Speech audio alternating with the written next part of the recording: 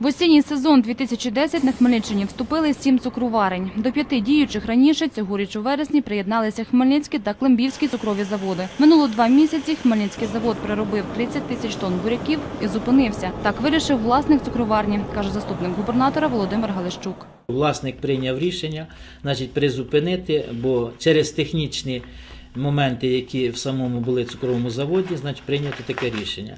Сьогодні завод консервується, значить, і буде готуватися до сезону 2011 року. Е, Це Хмельницький цукровий завод, це один цукровий завод, який практично не мав е, своєї сировинної зони. Через це сьогодні дане керівництво цукрового заводу, директор, значить ті особи, які є від власника, сьогодні працюють над створенням сировинної зони.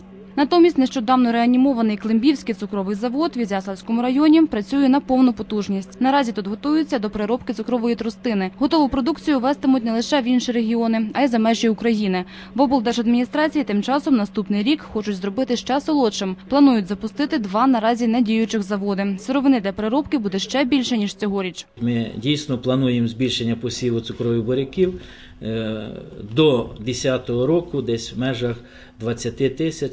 Хочемо вийти значить, в межах 70 тисяч гектарів посіву, значить, в 2011 році. Ну і додатково значить, запустити ще два цукрових заводи: це Волочиський і відповідно Городоцький цукрові заводи.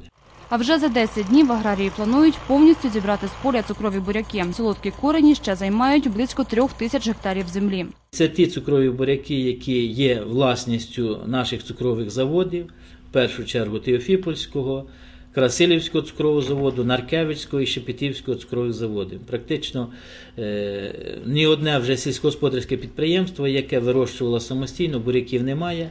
Через це, враховуючи момент переробки, значить дані цукрові заводи регулюють, щоб е, даний цукровий буряк не в'янув в кагатах. Через це воно все розписано по графіку. Держава тим часом вже почала надсилати подільським господарникам обіцяні гроші. В Україні досі діє програма, згідно з якою за кожен засіяний цукровими буряками гектар землі аграрії отримають 500 гривень. Нині на цю дотацію претендують близько сотні підприємств. До кінця року прогнозують в облдержадміністрації. Програма буде повністю профінансована. Вікторія Бакалець, Дем'ян Цегольник, Подільська панорама.